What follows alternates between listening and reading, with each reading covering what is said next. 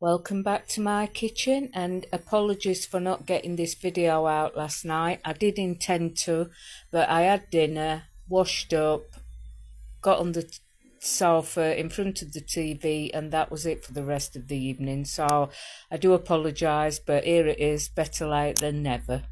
Now, I did say yesterday um, that I was going to do um, baby new potatoes with this chicken and bacon casserole and that's what I did. I just boiled a few up.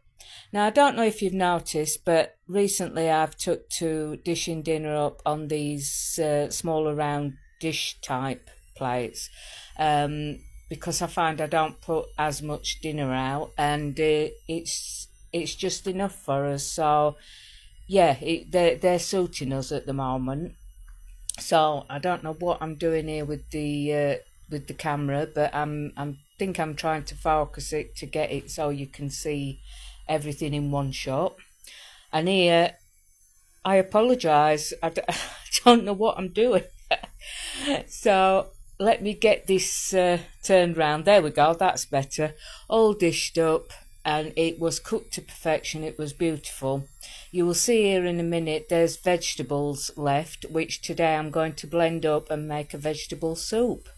So I'll let you know how that goes. So have a good day and see you later. Bye.